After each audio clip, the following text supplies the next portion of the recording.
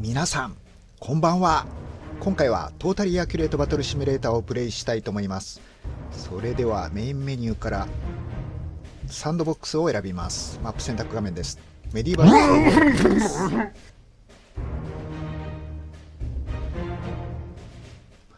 今回は The King とハ Harvester じゃない Wheelbarrow の戦闘力の違いについて確かめてみたいと思います。ではまずメディバルファクションを開いてザ・キングを選んで青チーム側の中央付近に手配します。そしてファーマーファクションを開いてウィールバローを選んで赤チーム側の中央付近に1体配置します。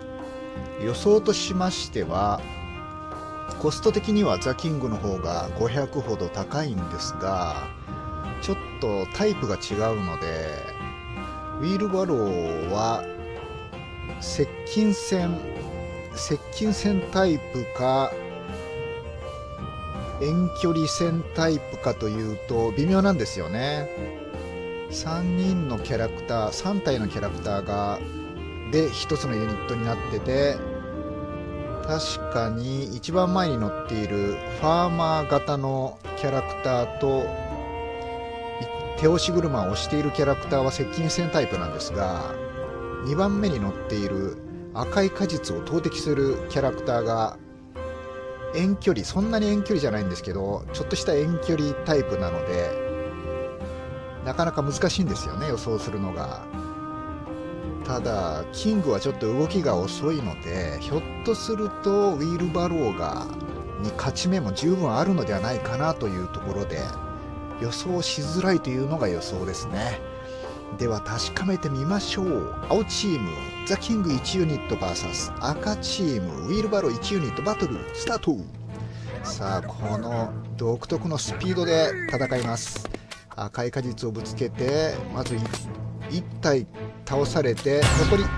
あキングはザ・キングはリロード時間が短いですよね。一振りから次の一振りまでの時間がすごく短いので他のキャラクターと比べて。なので相手キャラクターのリロード待ちの間に次々と相手を倒すことができるという特徴が読み取れますね。今回のバトルで特に。今まで今までのバトルでも気づくべきだったんですが今回のバトルで特にそれが明らかになりました。ではこれをベストアングルとしてタブキーで戻ります。ここから先はウィールバローを何ユニットまで増やせばザ・キングに勝つことができるかということを確かめていきたいと思います。では2ユニット目をすぐ右横に置いて横一列密集体系にします。どうでしょうね。先ほどの戦いぶりからしてこれでキャラクター的には6体のキャラクターになっていますからね。2ユニットですがキャラクター数的には6キャラクター。ここまで増えればさすがに赤チームの勝ち目が出てくるんじゃないでしょうか。では確かめてみましょう。青チームザ・キング VS 赤チーム。青チームザ・キング1ユニット VS 赤チームウィールバロー2ユニットバトルスタート。すごいスピードで突撃していきます。赤い果実は当たったのか当たらなかったのか。一振りでどんどん倒していくザ・キング。残り強いですね。次々と剣を振るって倒していくザ・キング。攻撃から次の攻撃までインターバルが短い。なかなかやはり強いですねザ・キング。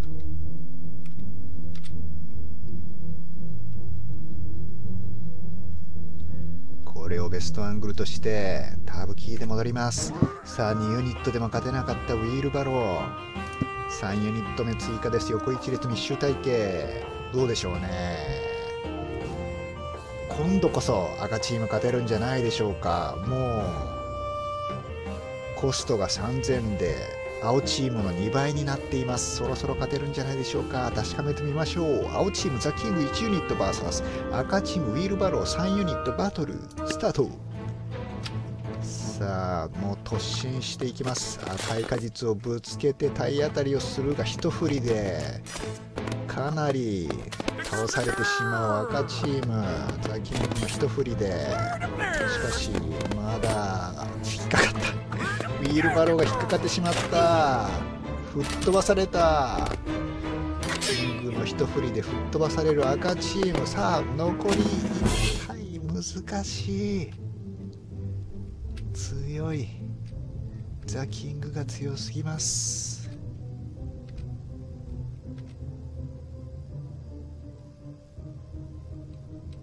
なかなか勝てないですね。これをベストアングルとしてタブキーで戻ります。3ユニットでもまだ勝てない赤チーム4ユニット目をどんどん追加。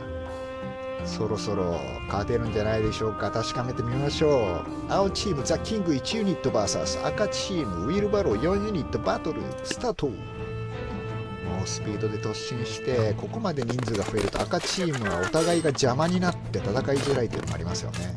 一振りでこの倒される数ですよ。ザ・キングの一振りで赤チームなんでこんなにたくさんのキャラクターが倒されてしまうんでしょうか。もう劣勢です。圧倒的に赤チーム劣勢です。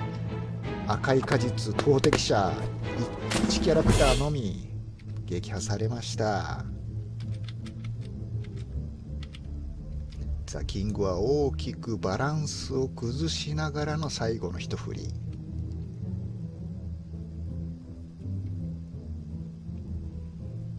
感じですね。これをベストアングルとしてタブキーで戻ります。4ユニットでも勝てなかったウィールバロー。これでもうコスト5000まで行きました。5ユニット目。さあ今度こそ勝つのか。赤チーム確かめてみましょう。青チーム The King 1ユニット VS 赤チームウィールバロー5ユニットバトルスタート。蛇行しています。激しく蛇行している。 Wheelbarrow キングの一振りが痛い。かなり倒されてしまう。一振りで。しかしキングもかなりバランスを崩している。 Wheelbarrow に囲まれてバランスしかし Wheelbarrow は止まってしまうと弱い。止まっちゃダメ。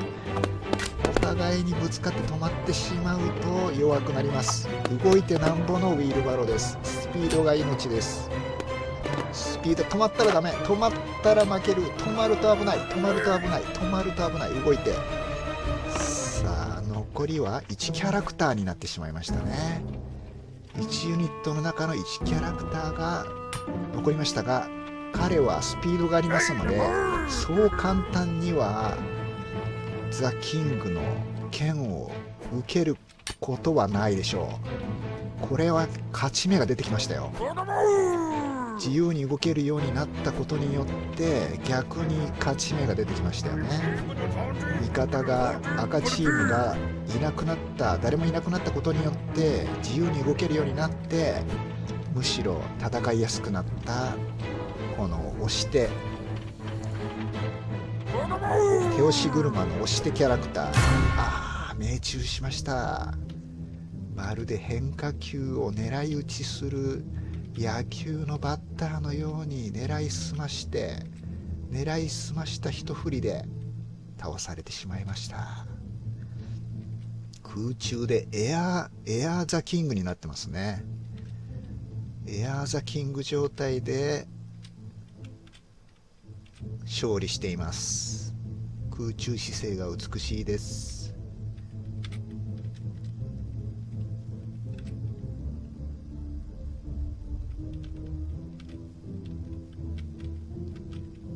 この方がいいですよね見栄えが。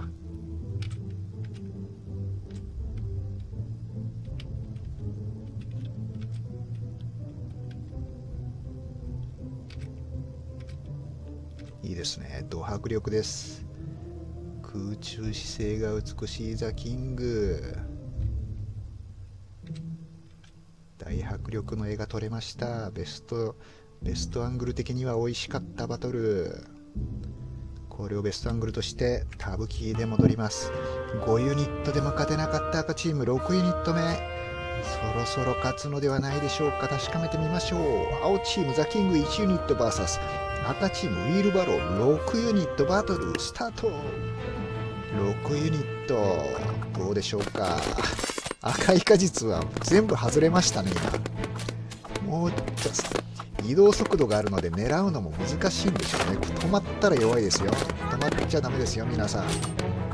動いてくださいさあ残りはまだ結構残ってますね赤チーム。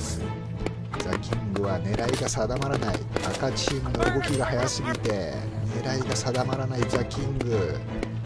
どんどんしかし赤チームも狙いを外してなかなかザ・キン。グやっと勝ちました。6ユニットでしたね。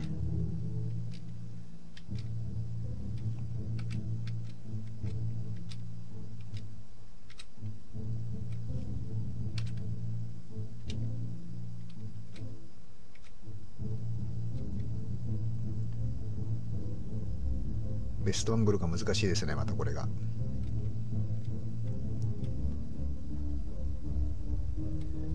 かなか誰の目線ももらえませんでした今回のベストアングル。仕方がありません。これをベストアングルとしたいと思います。ようやく結論が出ました。ザ・キングに勝つためにはウィールバロー6ユニットが必要であるじゃないねですね。ちょっと結論がの言い方間違えましたね。